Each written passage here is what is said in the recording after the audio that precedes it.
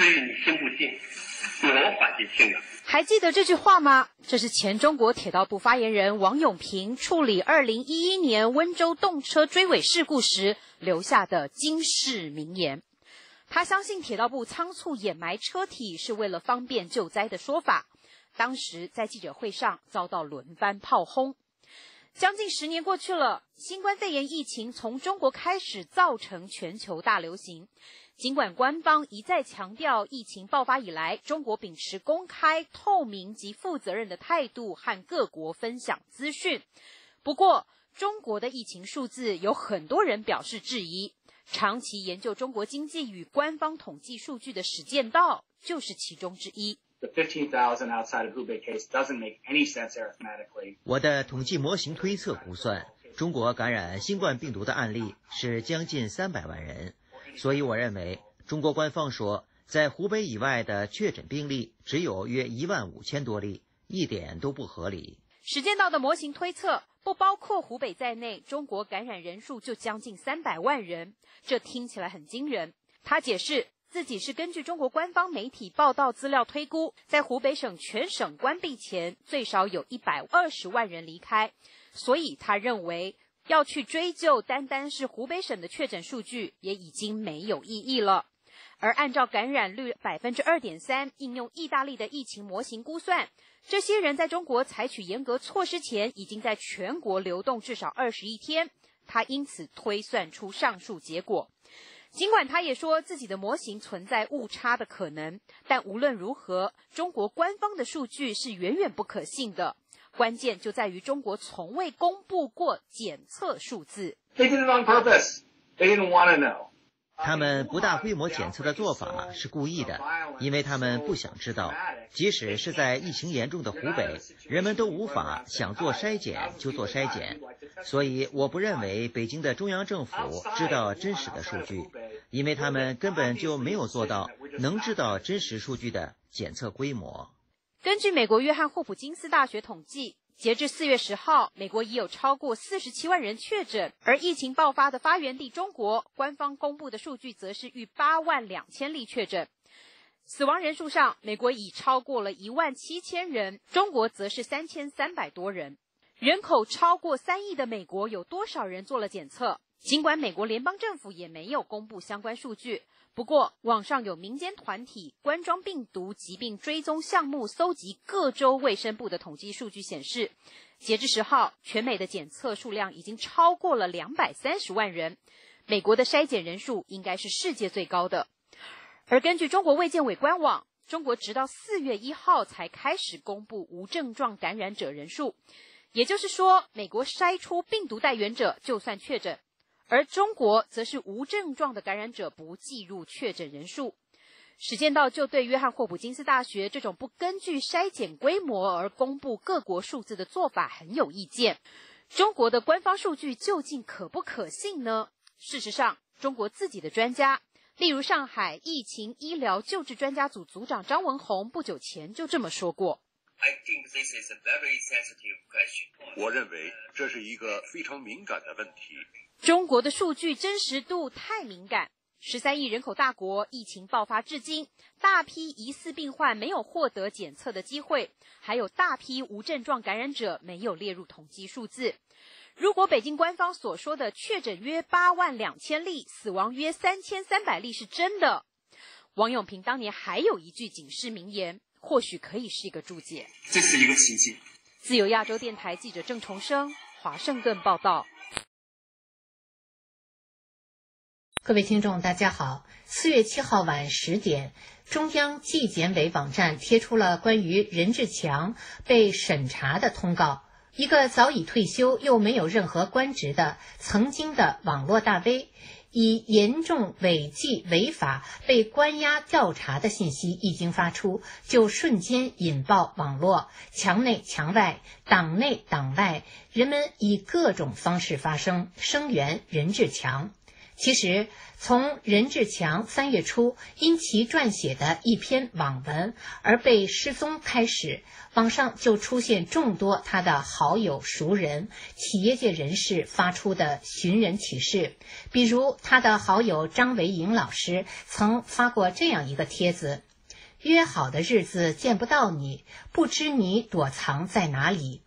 睡到半夜梦见你，梦见你在莽山里。”我拉着你的手，你叫我别开口，我向你点点头，你让我赶快走，我一步一回头，你向我不停的吼，别担心，莫忧愁，下次相聚不会太久。网友夏之夜也曾发过一帖，任志强一位年长者为年轻人呼喊，提倡思想自由和胡思乱想；一位大富豪为农民争取权益，主张人人平等，反对权贵与平民双轨并存。这是多么高贵的品质！他也因此多次被贬。更有网友愤怒地发帖说：“污名化是我党传家宝，对于搞不定的，一律被腐败、被嫖娼、被港独、被台独。假如任志强不幸遇难，那么他的那篇檄文会被翻译成多国语言，成为全世界声讨、控诉习近平独裁暴政的呈堂罪证。”一位网友以“抗争的三个层次”为题发帖，致敬京城最后的老炮。他说：“抗争的第一个层次是本能的抗争，这是任何人在受到侵害时都会做出的本能反应。维权者大多属于这个层次的抗争，他们的反抗在客观上对促进社会的公平正义有一定作用。”抗争的第二个层次是公民抗争，这个层次的抗争不仅关注自己的利益，也关注制度性的问题，能与统治者之间形成一种平衡。这种平衡使得整个社会不会变得太坏，但也很难促成整个社会的文明转型。第三个层次的抗争是最高层次的抗争，这个层次的抗争者可以说是走在时代前列的人，他们大多具有较高的文化层次和认知能力，有的还是体制的既得利益者。但他们已不再仅仅满足于物质利益，满足于个人尊严和权利。他们不再接受社会修修补补的改进，他们要做的是解决根本问题，促成国家实现文明转型。应该说，任志强是中共党内的妄议派、改革派、推强派，一向直言不讳地批评集权体制的系统性缺陷。他的存在对于一个唯我独尊的独裁政党领袖来说，自然如芒刺在身。那么，导致任志强此次失去自由的那根芒刺是怎样的尖刻呢？就让我们来看看他针对中共二月二十三号十七万人大会所写的那篇批评文章。他在文章中开篇就说。四年前的二月十九号，我在转发央视姓党的微博照片时，加上了一段评论：当所有媒体都有了姓，并且不代表人民的利益时，人民就被抛弃到被遗忘的角落了。于是引发了十日文革式的全网大批判和留党察看一年的纪律处分。但此次中国武汉肺炎疫情的爆发，恰恰验证了当媒体都姓党时，人民就被抛弃了的现实。没有了媒体代表人民利益去公告事实真相，剩下的就是人民的生命被病毒和体制的重病共同伤害的结果。接下来的一段话，目前在互联网上广为流传，虽然未点名，但更为犀利。他说：“那里站着的不是一位皇帝在展示自己的新衣，而是一位剥光了衣服也要坚持当皇帝的小丑。尽管高举一块又一块的遮羞布，试图掩盖自己根本就没穿衣服的现实，但丝毫也不掩饰自己要坚决当皇帝的野心和谁不让我当皇帝就让你灭亡的决心。”接下来，任志强对党内御用文人将历史上的七千人大会与十七万人大会并列称为党史上空前的事情，必将载入史册的无耻吹捧予以痛击。他写道。中国历史上的七千人大会可谓是党内执政的一次危机，并提出了不怕批评、敢于接受批评、敢于自我批评的信息，对反右倾和大跃进及瞒产瞒报等问题进行了批判和对真相的追查。最终，刘少奇用三七开承认了七分人祸的错误，毛则在大会上终于做了检讨。这次的大会也同样面临的是党内执政的危机，但人们没有看到大会上有批评的意见，没有对事实真相的追究与披露，没有查清疫情爆发的原因，更没有人检讨责任和承担责任，却在试图用各种伟大的成绩掩盖事实真相，好像这个疫情是从一月七日的批示才开始。那么去年十二月发生了什么？为什么没有及时公布信息？为什么会发生一月一日中央电视台追究八名谣言者的新闻？为什么会有一月三日的训诫？为什么会有一月三日对美国通报的疫情信息？为什么不提一月七日之前已发生的各种危机？为什么一月七日的批示未向社会公布，至今也未公布？为什么一月七日之后还会召开各种聚集性的全国大会？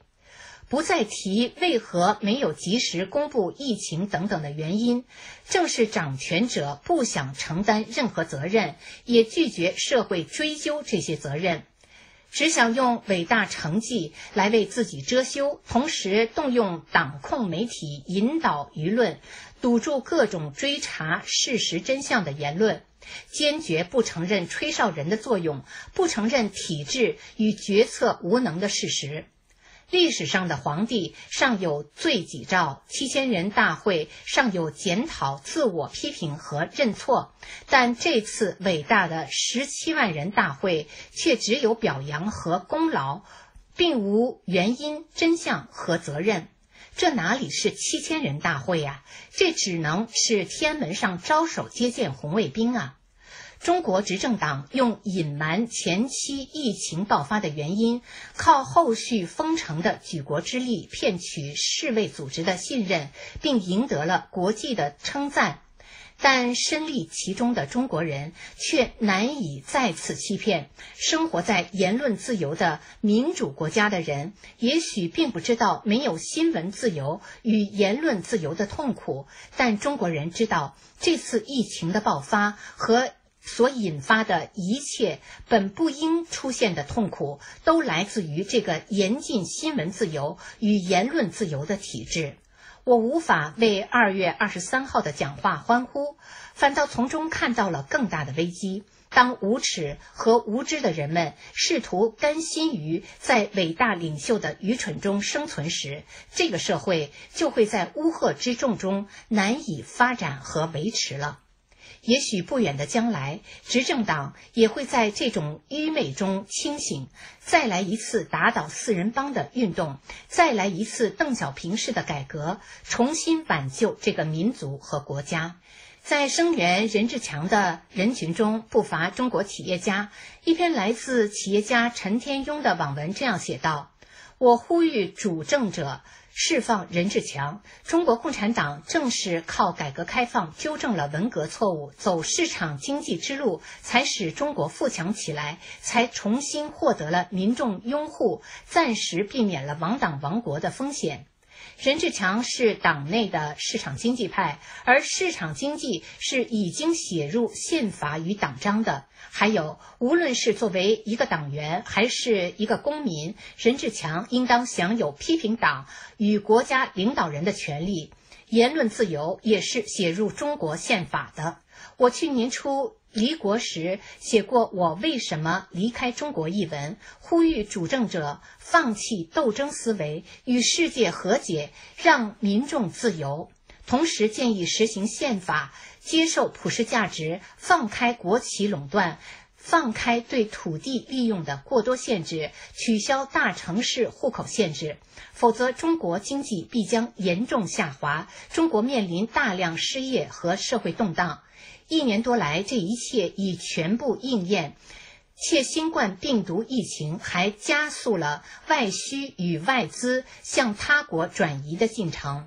中国如再不改变现行局面，立即与世界文明接轨，给中国民众言论自由与更多的经济自由，及绝大多数国家民众都已经享有的其他自由权利，中国将被文明世界踢出世界经济贸易圈。事实上，因为2019年中国在政治改革上毫无作为，还继续倒退，窗口期已过了一半。现在产业外迁趋势已成，所以今明两年如果政治改革没有重大进展，中国经济将很快被其他发展中国家超越，中国将在今后百年内都难赶上发达国家。作者最后呼吁主政者与体制内有识之士放下权力的傲慢，别为一党之私、一己之私，误了十几亿同胞与下一代人的长远幸福，误了国家与民族的前程。请立即开启宪政改革。以上是今天的微言微语，我是桑宇。欢迎回到时事大家谈，我是叶凡。四月八号，武汉封城的日子结束了。世界卫生组织的官员警告说，中国爆发二次疫情的概率越来越大。不过，中国的抗疫专家则表示，风险有限，疫情不会再一次抬头。那过了拐点的国家和地区，爆发第二次疫情的风险有多大？那要如何来防止和应对第二轮的高峰？今天我们请加州的内科医生。亚裔公共事务联盟湾区主席王艳芳来解答相关的疑问。呃，我想先要把这个爆发的定义说一下哈。如果说是像武汉那样的爆发，应该机会非常的小，因为现在这个这检查的次数多，而且出现任何症状，大家都比较紧张。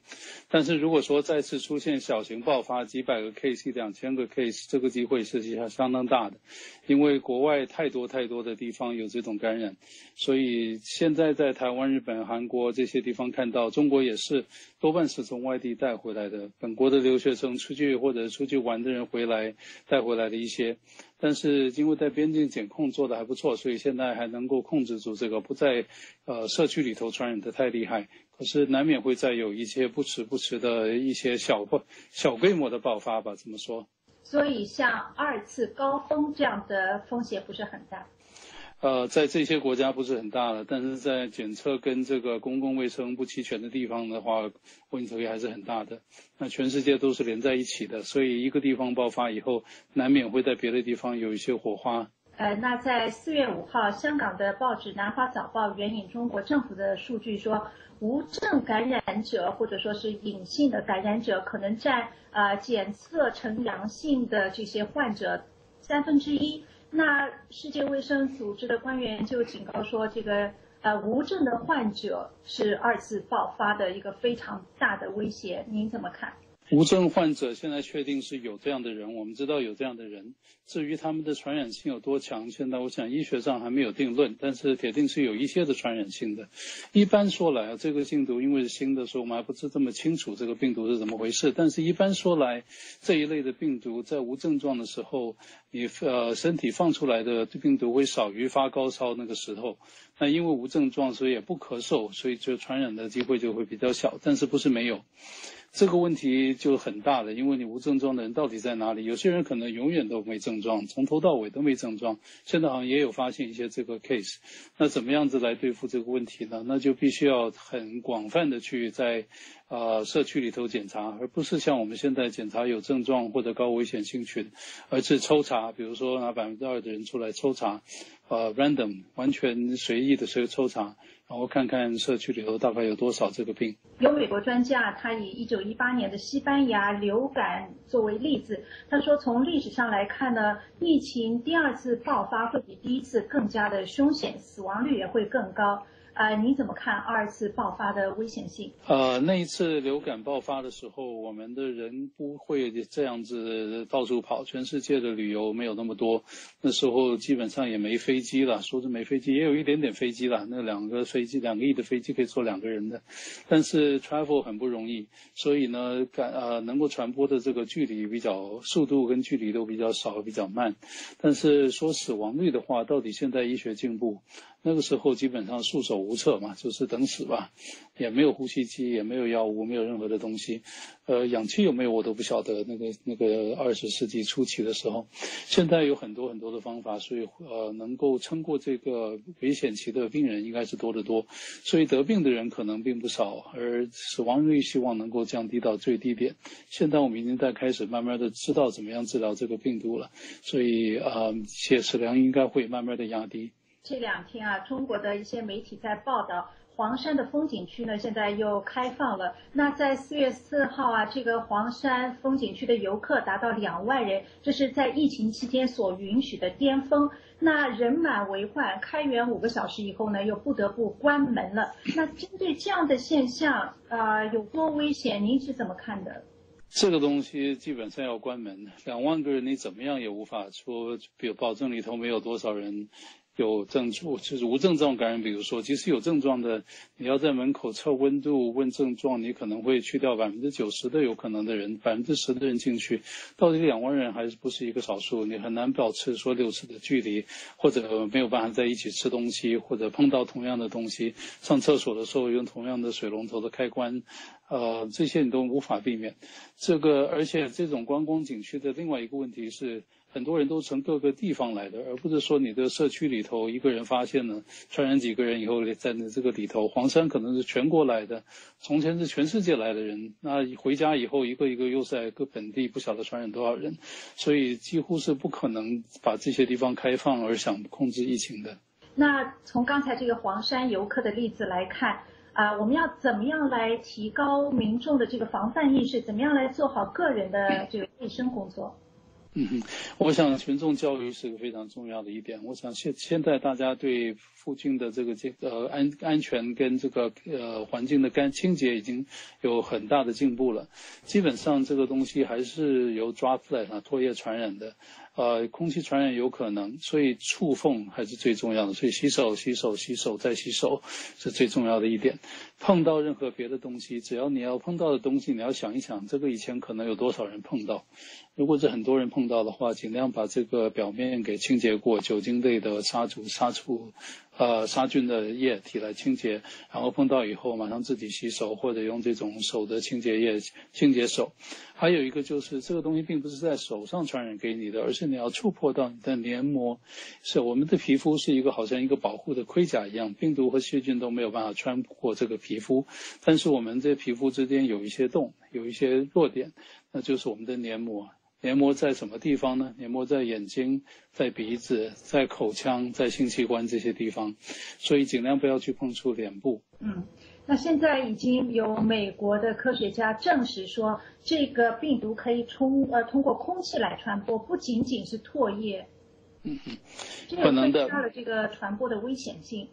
这这增加传播危险性非常的多。因为唾液咳出去的东西会就基本上会掉在地上吧，会粘在表面上面，你要触摸才会接触到你，你要自己还要摸到你的黏膜。像我刚才说的，空气传染的话，就是呼吸就会传染，这个问题就大了。那 SARS 有这个问题，coronavirus 这个新的 COVID-19 跟 SARS 的这个病毒很类似，所以我们的假设也是有这个可能。到底有多厉害，那就不不太确定了，因为有的这个病毒需要很高的浓度才能传染。有的很低的浓度就能传染，那大家戴个口罩还是有些帮助。虽然说普通的口罩除了 N95 这一类的口罩以外，不能够把病毒全部过滤过去，但是多少有一些帮助啊，有一点总比没有好。同时，口罩还有一个很大的好处，就是你戴了口罩以后，你就很难碰自己的鼻子跟嘴，所以这这有一点隔离。眼镜也有一样的帮助，呃，减少碰到眼睛。空气传染的话，那你在这个凡是密闭的空间里的人多的时候，你就要非常注意的保护自己，尽量在空气流通的空间，尽量在人少的地方，呃，在人多的地方不要停留过久。如果是长途飞机或者长途火车这一种，甚至于考虑要不要戴 N95 的口罩。我知道这不是美国健康局的这个建议，但是我觉得这个可能有必要。嗯，那原来呀，在加州呃旧金山是疫情的一个呃高发地区，现在控制的非常成功。现在在东部这个疫情成了非常严重的呃灾难地。那通呃加州有哪些经验可以让全国来借鉴的？是的，我就是自己在西谷啊硅谷。这个地方，所以是最早的地方。删了科尔康体，除了 Seattle 这里原来是最严重的地方，后来纽约追上了，现在很多别的地方都追上。加州做了几点很好，第一点最重要的就是居家隔离开始的早。比别的地方都要早。湾区这里六个县七八百万的人口，一早就开始居家隔离了。后来过了一大概五六天以后，加州整个的州州长宣布隔离。现在我们这边的隔离已经住第三周了。一般说来，两周的潜伏期嘛过了，所以现在开始看到病情的一些平稳。可是呢，也不能大意，因为到底这个是全世界科技中心，全世界全美国的人都不停的流动在这边，所以带进来的还是有很多。嗯，同时本地的医院的设备也准备得很好，像我在的医疗诊所，我们就把普通一般看病的病人全部都取消，一般的不必要的手术全部都取消，把病房跟这个加护病房空出来，万一突然间爆发的时候，有这个能力来照顾这些病人，所以希望这些准备都能够足够。我们当然是希望这些准备都是不需要用。但是如果需要用的话，希望能够足够。纽约的隔离开始的有一点晚，嗯，在别的地方就更晚了。纽尔林那个 Mardi Gras 是百万人的大庆祝，而且延迟一周以上的时间，亲密的接触，酒吧里喝酒，街上跳舞等等的。那个现在纽尔林也爆发了，呃，纽约也爆发了，LV 洛杉矶也追上来的很快。洛杉矶那个时候那个马拉松赛也是几万人，全世界的人来，现在都带着病毒，各个回家去了。那呃，我想请问一下啊，王医生，您个人有没有治疗过或者碰到过新冠肺炎的患者？啊，我很幸运，现在我个人的病流里头还没有，但是我们的诊所，因为我们诊所非常大，照顾北加州到一百万的病人的的这个一千多个医生的诊所，所以里头是有很多的例子，但是我们把这些分开了，就是说。呃，凡是有发烧、咳嗽的病人，在外面一个帐篷里头，车房车那个车库那边一个帐篷里头看，不要进到诊所里头来。那凡是进诊所的也量温度啊，也戴口罩这样子，尽量把这些有病毒的跟没病毒的人分开来治疗，所以呃影响很小。呃，在我们 Alameda County Fremont 这边诊断到的也很少，也这是个位数字的。好，感谢加州内科医生、亚裔公共事务联盟湾区主席王彦邦先生为我们做的详细回答，也感谢您收看美国之音的时事大家谈，我是叶凡，下次节目再会。美国进入了对抗新冠疫情最艰难的时刻，无症感染使得遏制病毒传播更加艰难，要如何及时发现无症感染，阻断病毒的传播？另外，世界卫生组织官员警告说，中国出现了爆发新一轮疫情的迹象。那过了拐点的国家和地区再次爆发新冠病毒的风险有多大？要如何防止和应对第二轮高峰？大家好，欢迎收看《美国之音》的时事大家谈，我是叶凡。首先，美国卫生局局长亚当斯警告说，目前是美国应对新冠疫情最黑暗的时刻，就像是珍珠港和九一一事件。而无症感染使得发现病例和阻止病毒传播更加的艰难。那什么是无症感染？怎么样来诊断和发现无症感染者，防止病毒悄悄的传播？今天我们请马里兰大学医学院教授、分子病理部主任赵玉琪博士来给我们做详细的解答。赵玉琪博士，非常感谢您参加今天的访谈。你好，啊叶凡，非常高兴又有机会跟你做节目。嗯，那首先我想请教，什么是无症感染？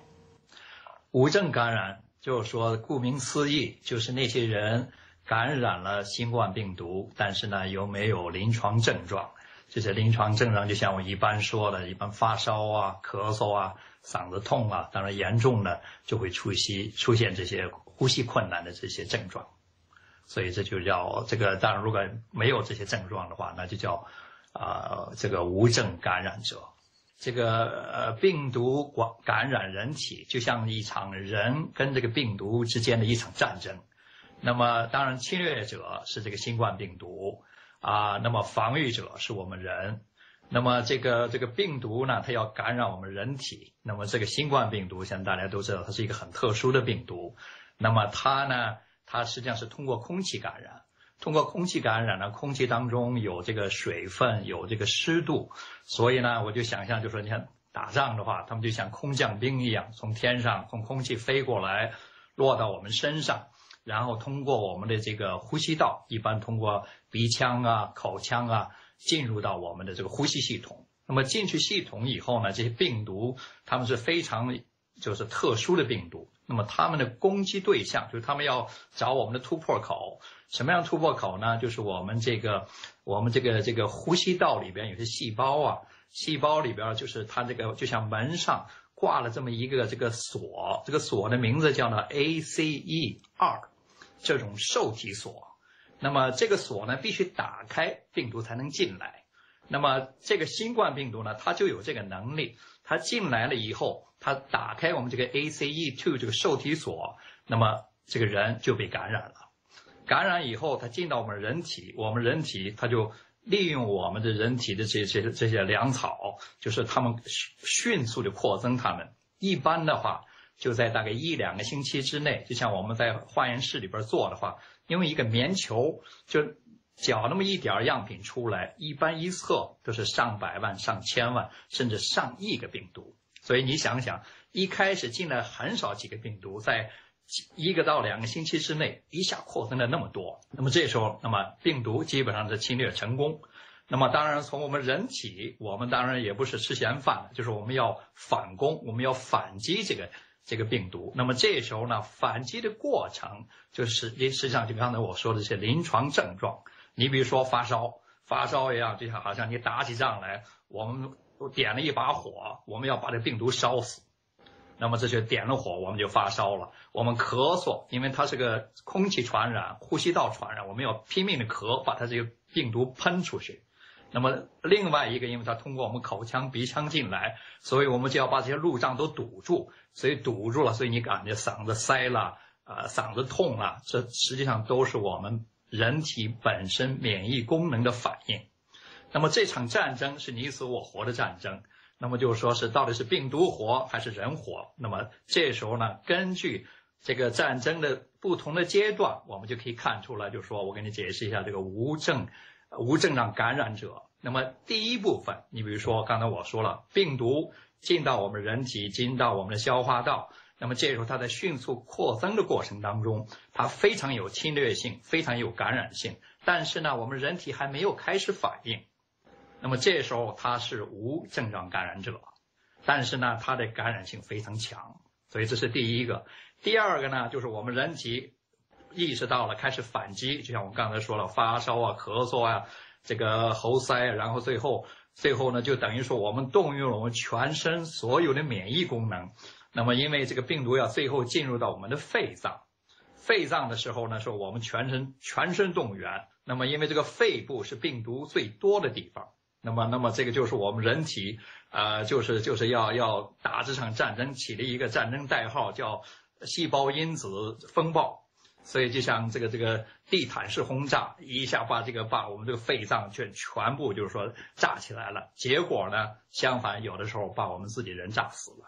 所以，我们新冠病毒很多病人到最后死掉，实际上，当然病毒攻击是一件事儿，另外一个也是因为我们我们这个免疫系统在反击的过程当中，目标就是太过分的反击，相反导致了我们人的死亡。但绝大部分的时间，我们最后人是胜利的，所以我们通过这些免疫反应，最后把所有的这病毒给抓住了。抓住了以后呢，都把它把它把它抓起来，把它关到监狱里边。我们用抗体一个一个的把它都制服了。那么这时候呢，制服了以后，我们的人体那么就症状也下来了，因为敌敌人都抓着了。我们免疫功能也有了，抗体也起来了，那么这时候又出现了第二类的所谓无症状感感染者。你要看那个测的话，RNA，因为这个病毒是 RNA 病毒，我们测你还能测到它，但是同时我们也能测到抗体。那么但是这时候它没有症状，这是这是第二类。第三类呢，那就更蹊跷了，就是说。病毒进来了，我们呢？刚才我说，我们前面那个说的是是大型战争。那么这个呢，是我们特种部队进来一个病毒，我们就抓一个；进来一个就抓一个。那么这时候呢，你在表面来看，人体来看的话，我们没有反应，就是有很多人感染，他不知道自己感染了。那么还有第二种情况，那么就是说，刚才我说了，病毒要进到我们系统来，它要打开那个锁，那个 ACE2 那个锁。那么有有些人，他的表达量很低，或者说他把那个锁上加了个密码，病毒进不来。所以虽然它感染到人，进到人体，但是它感染不了，所以就出现了我们的第三类的无这个感染无症状者。所以归类一下，就是三类。第一类就是说无症状，但是它病毒非常有感染性、有侵略性，所以这是最危险的无症状感染者。第二类治愈的，已经有抗体了，我们把这病毒就制服了，它感染能力非常差。就是基本它不会太感染。第三类就是有些人感染了，他没有身上没有感觉，就是我刚才我说这些情况，那么他可能会感染，但也可能不会感染，但是他不会像第一类那个威胁那么大。那你说到这个，我很很感兴趣，就是这个第三类，它病毒，但是它不会发病，它的呃可以把病毒进来一个个杀死，那是不是这类的免疫力特别的强呢？呃，实际上就像我刚才说，免疫力强，并不一定是一件好事儿。像刚才不是说嘛，就是第一类的话，有些病人死掉，就是因为我们人体免疫功能太强，太强了就发起了这种，像我刚才形容了，就是这个地毯式的轰炸，用这个所谓细胞因子风暴，炸炸，最后呢把自己给炸死了。那么，所以免疫功能在这种情况并不好。但是刚才回答你的问题，那么像这类感染者。这个如果形容一下，就像说了，我们过去讲过所谓个性化医疗，就是说每一个人对疾病的反应都是不一样的，因为我们本身的基因的这个不同，所以导致我们对疾病的反应也不同。所以呢，这个要各异，不能说是一概一概而论。嗯，那呃，如果是没有症状的话。他怎么样去检查？怎么样来发现这些啊无症状的感染者，可以阻止这个病毒的扩散呢？对，这就是所谓大家大概比较关心的，也就所谓它的危险所在。那么，因为你没症状，你感染了，你怎么知道他感染？你怎么知道他是谁呢？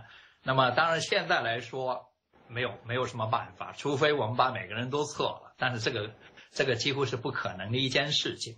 那么，但是随着时间的推移，现在开始有所谓的抗体检测。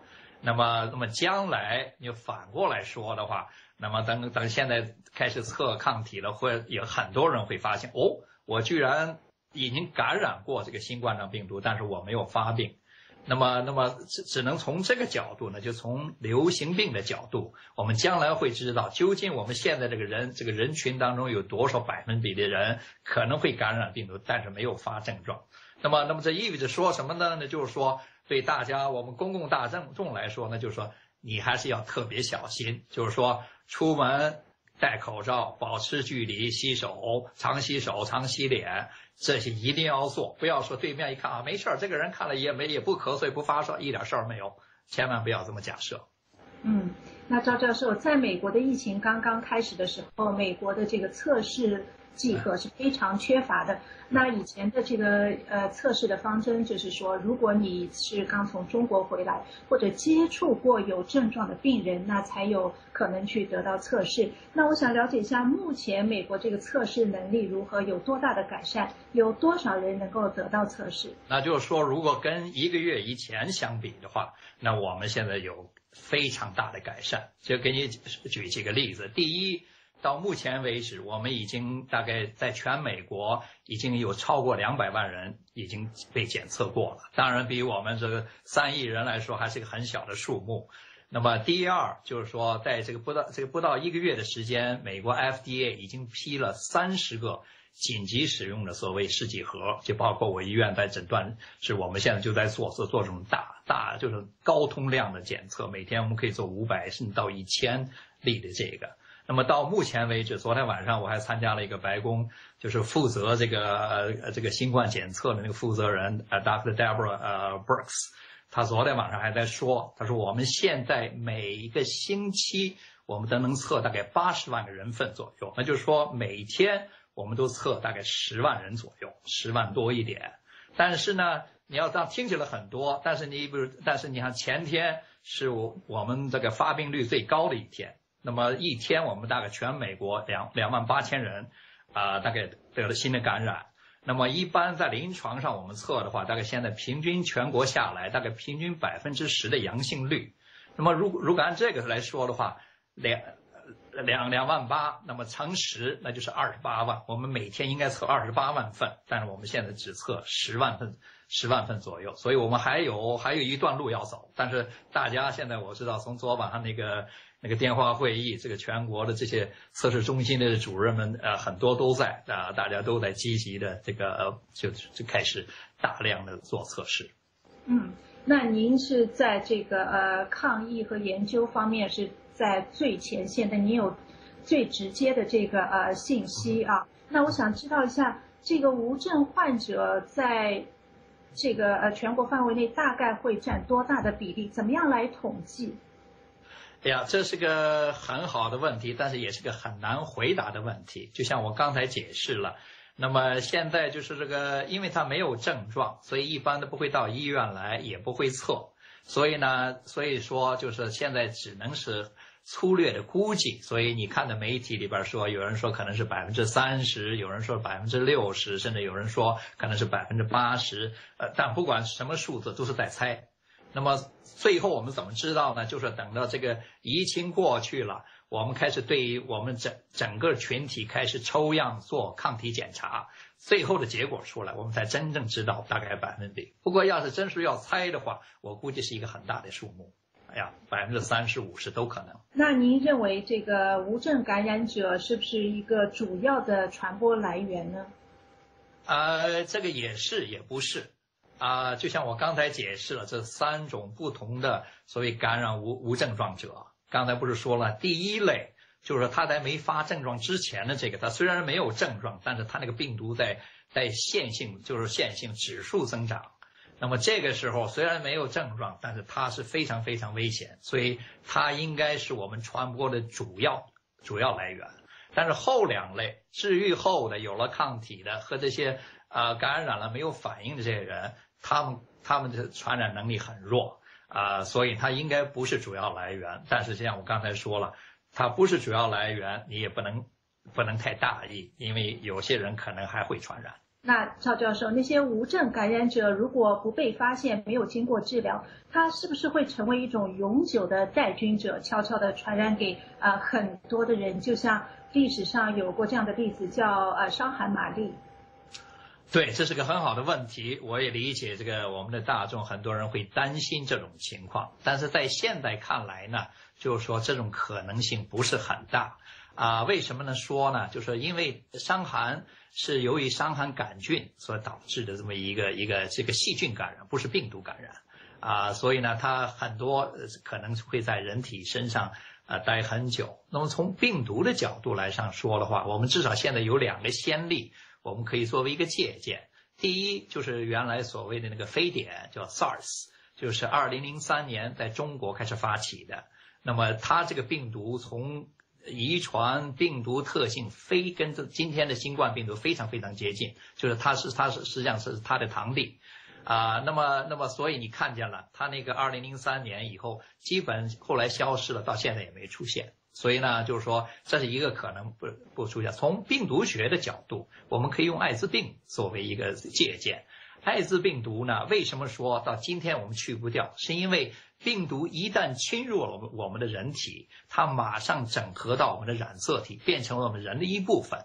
所以这个人感染了一辈子，就就携带病毒。但是呢，到目前为止，新冠状病毒它不会整合到人体里边。就像我一开始说的，这是人体和这个新冠病毒的一场你死我活的战争，不是你死就是我活。那么最后的结果必定是，如果病人不死，绝大部分人都不会啊，是因为这个死亡率还是比较低。那么绝大多数人都会战胜病毒，最后病毒就会从我们人体上消失。所以你说这种可能性基本上不存在。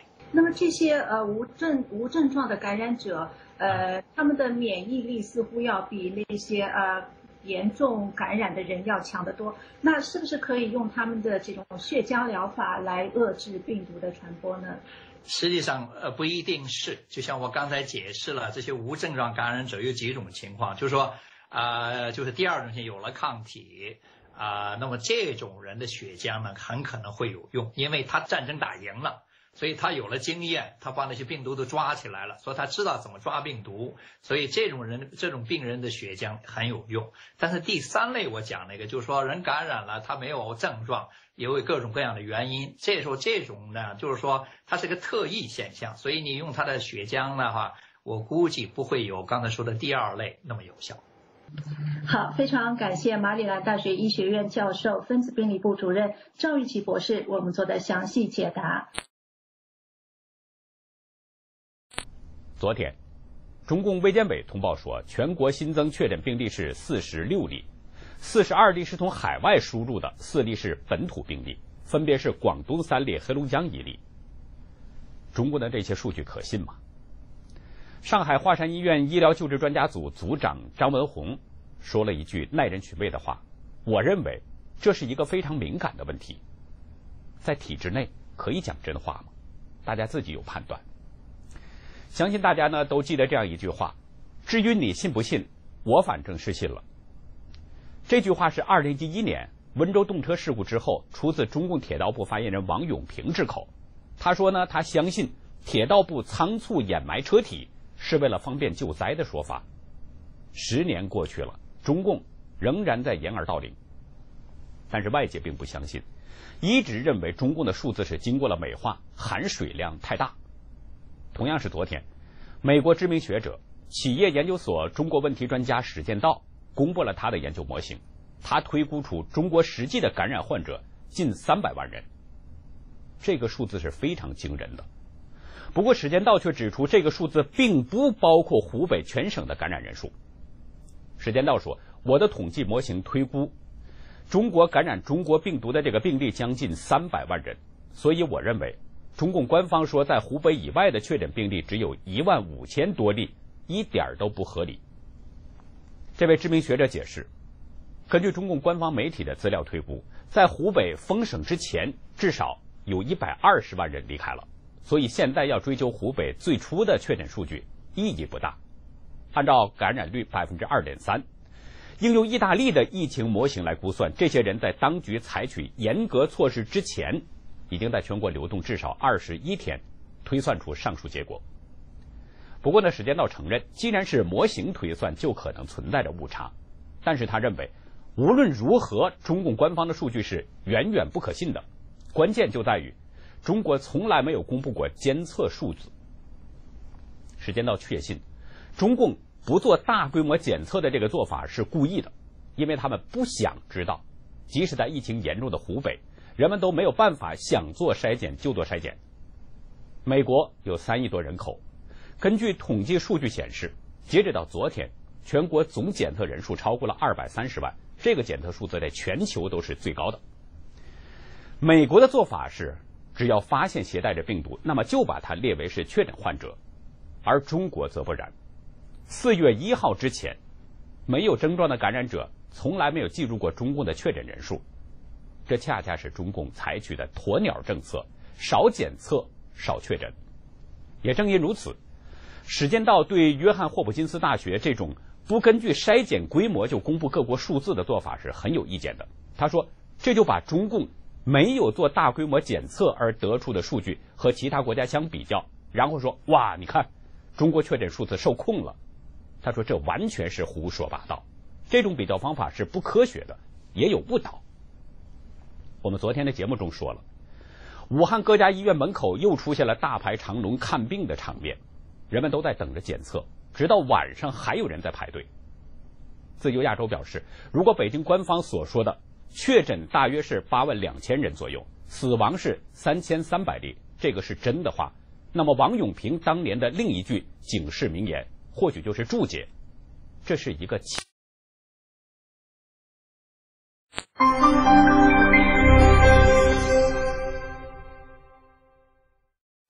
我与国内同学翻脸激辩。文章原题目：傲慢与偏见的隔壁，兼答 F.G 同学。作者王光明。一觉醒来，发现初中群再一次热闹。此番争论，系因几天前我点评段同学的先生冯老师抨击芳芳日记的文章而起。我的基本观点是，任何人的作品都可受批评，芳芳也不例外。冯文笔很好，可惜主要是讲政治，而不是站在文艺批评和普罗大众的角度。逢对细节的苛责也失之武断。进而，我认为，对于一场波及全国乃至世界、代价惨重，甚至会重塑人类文明与经济格局的重大灾难性事件，如果只有正史的记载而没有野史的补充，也是不完整的。因此，接受、理解、致敬芳芳日记，是一个民族慎终追远骑马的胸怀与良知。未料，此论引起公务员气和教师 F 两同学的强烈不满。上周五季同学发了一通红论，含沙射影，什么苍蝇臭气都来了。今天 F 同学再次居高临下，指桑骂槐，连汉奸都说出来了，就差罪大恶极了。这中间肖师哥也来助阵，燕然三剑客。本来季说的那些我回应过，不想再说，但 F 的得寸进尺，让我觉得不回应一下就失礼了。都是嫡亲同学。你们毫不客气，我也就直言不讳，好吧？你们的基本观点大致这样几点：一、美国不是好东西，就是靠搞垮别人称霸的。中国离开美国没什么。二、我一生在家乡，就是没见过世面，但我爱国爱乡，不崇洋媚外。芳芳诋毁我们幸福生活，我就反对。三，在国内赚了钱移民的，就是不爱国，甚至是汉奸。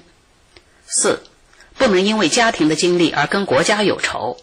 我 F 同学亲外公土改被枪决，爷爷文革被拿枪看押，对吗？不对吗？关键词都跟国有关，美国、爱国、出国、家国。好吧，我就围绕这几个关键词来说道说道。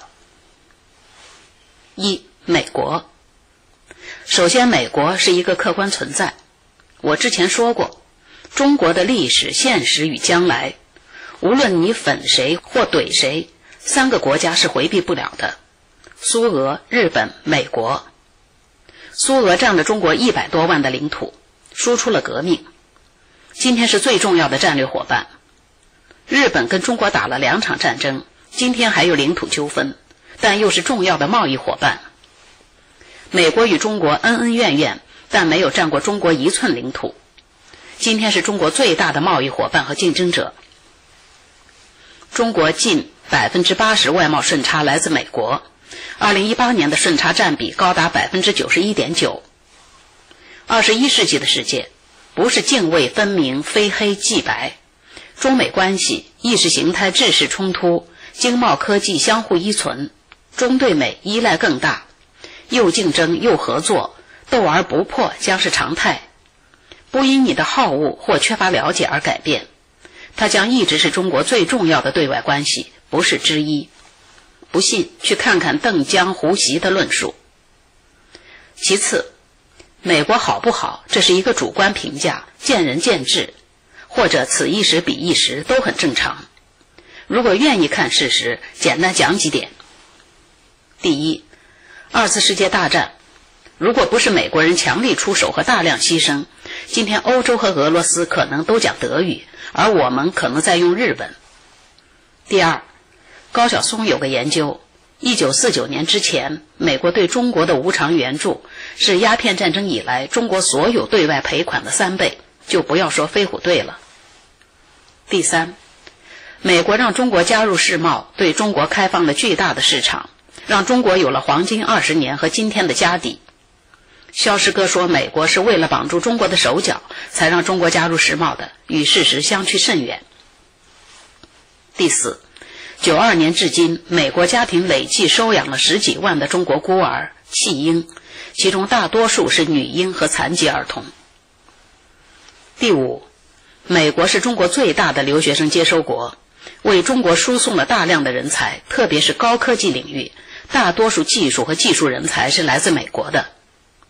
当然，反过来你也可以说，美国支持蒋介石打内战，还有朝鲜战争、越南战争，今天台湾问题、香港问题、新疆问题、西藏问题都有美国的黑手。没错，这就是现实，硬币都有两面。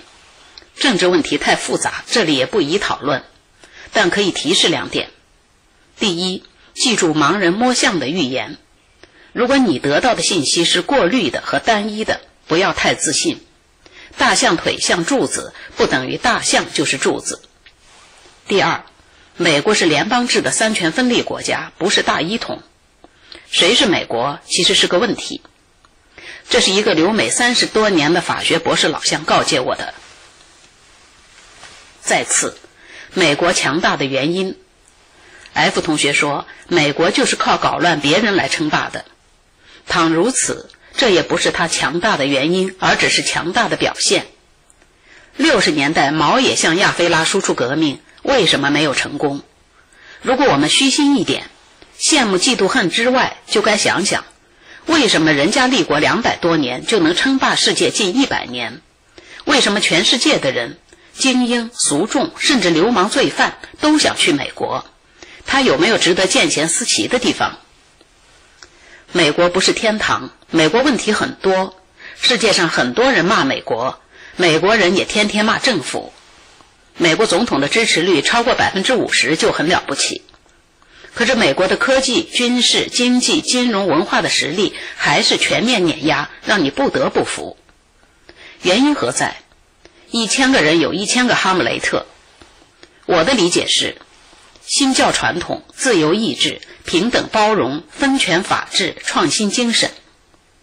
美国南北战争之后，任何政治纠纷都是通过内部协商或者法律途径解决，只数人头不砍人头，永远只是茶壶里的风暴，这样才能长治久安、恒产恒新。同时，这是一个崇尚自由、自律又自强的社会。举两个例子：一，美国家庭哪怕再有钱，哪怕是双职工带两三个孩子，很少有保姆的，各种家务和维修都是自己做，家家户户车库里有各种工具。当然，你可以说是因为美国人工贵，但不可否认美国人的动手能力和劳动习惯。二。现在疫情，政府下令大家待在家里，出门保持距离，大家都自觉遵守，绝少人违反，不需要宣传车、纠察队或红袖章。最后，中国离开美国行不行？当然行。季同学说了，两百多年前没有美国，中国生存了五千年，美国曾经封锁我们几十年，也过来了。这话一点毛病都没有。问题是。你们还愿意回到我们穿开裆裤时候的日子吗？你们愿意有权利让你们的后代接受那样的生活吗？现在国人中有两股对立的势力在做同一件事，就是极力鼓动中美脱钩。一是极左的战狼小粉红，二是极右的反共人士。前者是信心爆棚，要教训美国，睥睨天下；后者是恨屋及乌，要打击中共，让中国乱套。可见，极左和极右其实殊途同归。现在美国也有强大的势力要对中国强硬，要中美脱钩。这次疫情又助长了这种声音。我们要站在什么位置？我的立场很明确：中美合作加斗争，维持斗而不破的基本格局，于我有利。可以口水，不能结冰。别的不说，对美出口五千亿。如果减少一半，就可能是上千万人的失业，失业潮会引起连锁反应，危及社会稳定。稳就业是中央六稳的第一稳。庙堂对这个问题的认识可比你们清醒得多。F 同学说：“为什么不扩大内需？”说的容易，内需不足本就跟国民收入在 GDP 中的占比过低有关，而没有工作，更何来消费？你以为政府不想扩大内需呢？中国的问题是产能过剩，没有出口市场，产能如何释放？经济三套马车：投资、消费和出口。缺了出口，马车就熄火了。想过没有？改开之前，中国也是人口最多、地大物博，为什么经济没有发展起来？人口不等于市场，有消费能力才是。二，爱国。国人有个毛病，似乎胸脯一拍说我爱国，就占据了道德的制高点，而不需要其他的论证。爱国要有行动，对一个公民敬业爱岗、善尽职守、遵纪守法、依法纳税，就是爱国，而不是空喊什么口号。爱国跟你的职务、职业、说过什么冠冕堂皇的话都没有关系。否则，像周永康、徐才厚这样的国妖大老虎，岂不是大号爱国者？他们任过的职、说过的话，可比你们的高大上多了。扪心自问，做官也好，做老师也罢，自己的言行真的都符合爱国的本意吗？再深一点说，国家、政府、政党本是不同的概念。爱国是一种情感，它的内涵应该有历史感，而不是一种应景的空洞说教。如果批评政府、反对政府的一些做法，揭露社会的阴暗面，就是不爱国。那么，从屈原到杜甫，从鲁迅到莫言，从托尔斯泰到苏尔仁尼琴，都不是爱国者。爱之深，责之切。从历史看，伟大的批评家都是真正的爱国者，而一味歌功颂德的，多是投机势利之徒。岂有文章轻社稷，从来宁幸负乾坤。二战时，日本偷袭珍珠港，美国举国沸腾，国会立即对日宣战。但是，即使在那样的民意下，还是有一个议员投了反对票，她就是珍妮特·兰金，美国国会中第一位女议员。群情激愤，警方不得不派人保护她。但是美国人没有说她是美奸，因为作为议员，她有权利说不。九十三岁逝世后，作为爱国者。他的雕像矗立在美国国会大厦。芳芳日记本是平常之事，见仁见智，批评和赞扬都是正常的，但因此上升到意识形态，甚至进行人身攻击，只能说你们爱国牌的玻璃心太脆弱了。再说，凭什么爱国和爱国主义就只能由你来定义呢？谁给了你这样的垄断权？你们都是党员，算是列宁的信徒。那么，列宁关于爱国主义的这些论述，你们怎么理解呢？列宁说，每当一个国家的政治经济出现重大危机的时候，爱国主义的破旗就又散发出臭味来。列宁说，如果你是一个社会主义者，你就应当为了国际革命而牺牲自己的一切爱国主义情感。列宁说，爱国主义这正是小私有者的经济生活条件造成的一种情感。列宁又说：“我国无产阶级革命的一个特别巨大的，可以说是绝无仅有的困难，就是他不得不经过一个同爱国主义断然决裂的时期。”列宁还说：“工人阶级没有祖国。”查一下百度百科，定义是：爱国主义是指个人或集体对祖国的一种积极和支持的态度。显然，它门槛没那么高，没那么神秘或神圣。三出国，出国了就是不爱乡爱国，移民了更是可耻，甚至是汉奸。这就是你们的基本逻辑。首先，“狗不嫌家贫”之类的鸡汤，三十多年前我就喝过，电影《牧马人》的台词，对吧？但是人不是狗，乡土也不是狗窝，人要进去，社会要发展，有人财物的流动，才有源头活水。一辈子待在阴山，对外界缺乏了解，这不是过错，但以此就觉得自己具有了对离乡离土者的道德优越感，就有点可笑了。如果这个逻辑成立，你们这些从乡下进了县城的公家人，见了固守乡下的老邻居，也该低人一头。如果阴山的人都出不去，外面的人也进不来，物流资金流都断掉，那将不是岁月静好，而是岁月难熬。看看疫情下的封锁，甚至退回刀耕火种。大而言之，近代以来中国的每一个进步，辛亥革命、土地革命、抗日战争、改革开放、加入 WTO，都有外来因素的推动，否则我们还留着长辫子呢。你们中奉的马列主义，也是波罗的海边上的东宫一声炮响送过来的，而不是土生土长的，不是吗？全球化、地球村的时代，以居住地来给人贴标签，汉奸这样的词也能用上，够神经错乱的，是没有意义的。且不说红二三代有多少人住在国外，也不要说大家牵挂的被誉为民族英雄的孟晚舟也定居海外，就只说我们这样的国际性企业在海外办公是再普通不过了。侨居海外的国人对国家的纳税和其他的贡献不一定比你少。远的不说，前不久疫情爆发，是海外华人买空了美国、加拿大、澳大利亚等地的口罩和防护用品寄回国内支持抗疫。我们黄冈中学北美校友会、清华大学南加州校友会、清华企业家协会北美分会等等都在行动，出钱出力，义不容辞。他们怎么就是汉奸呢？其次，站在民族发展的角度。向海外移民不仅可以为母国带回资金、技术和其他的好处，更深远的意义在于拓展民族的生存和发展空间。昔时靠着向外移民，大不列颠从英伦三岛变成了日不落帝国。今天不需要战争，不需要殖民，只需要落地生根、开枝散叶。华人遍布地球的每个角落。一个自嘲的说法：有蟑螂的地方就有华人。难道不是华族的荣光和张力的体现？美国是谁的？是世界人的。越南人来了，菲律宾人来了，老莫来了，穆斯林也来了，华人为什么不能来？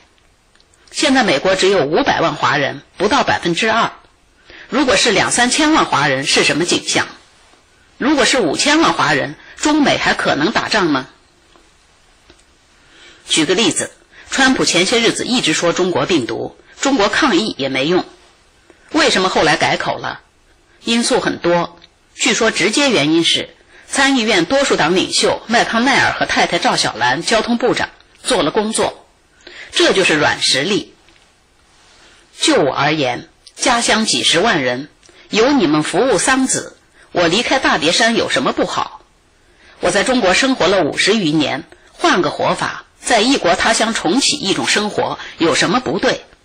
生命就是一种经历，我没有觉得愧疚于谁。用佛系的话说，你在也好，不在也好，故土都在那里，不多不少。埃隆·马斯克都在探索太空移民，为人类的未来备份，你们却还在山里辱骂出国的人。今夕是何夕？一条腿跨进了微信和五 G 时代。一条腿还在扶清灭洋的义和团梦境中，这裤裆扯得有点大吧？四，家国。爱因斯坦有句名言：“国家是为人而建立，而人不是为国家而生存。先有家后有国，而不是相反。所谓家国情怀，也是家在前，国在后。就是说，对个人来讲，家优先国是基本人伦。”否则国就没有意义。当然，这里不排除特殊时候、特定人物舍小家为大家，那是一种升华的精神境界，不是常态，不能强迫大家都高尚。F 同学，你外公土改被枪决，爷爷文革被拿枪看押，你真的不知道对还是不对吗？如果是一种向组织的表态，我能理解；如果真的那样觉得，我得说你是不孝子孙。没有人说因为家庭的不幸经历就要对国家有仇，当然可以跟历史和解，也应该放眼未来，但起码要对历史有价值的判断、对错的辨析以及制度的反思，吸取教训，警示后人，从而避免悲剧的重演，而不应该简单的选择遗忘或者糊里糊涂。芳芳日记一直说追责，一些人就不舒服，似乎动了他们的奶酪。可是毛泽东讲过。惩前毖后，治病救人，没有追责，如何惩前？如何毖后？再来一次灾难，岂不死灰复燃？列宁还说过，忘记历史就意味着背叛，没有寂静的民族是没有未来的。所以就家国而言，F 同学，你五十多岁了，起码应该搞清楚你外公被处决是对还是不对，否则如何面对先人？如果缺少历史背景做判断，建议你去读一下方方的《软埋》，那也是一部争议很大的作品。我是从中听到了历史的回声。最后想说，就这场争论，王老师和舒老师旁敲侧击、循循善诱，希望你们多读点书，知书达理，不要一根筋。遗憾的是，你们似乎油盐不进，感觉良好。就胸怀和事业，两位恩师足以再做我们二十年的老师。做学生的还是谦逊一点好。行文至此，我题目说的“傲慢与偏见”的隔壁住着谁，你们应该也猜到了。希望你们不要进去作伴，谢谢。美国时间二零二零年三月三十一日于南加州。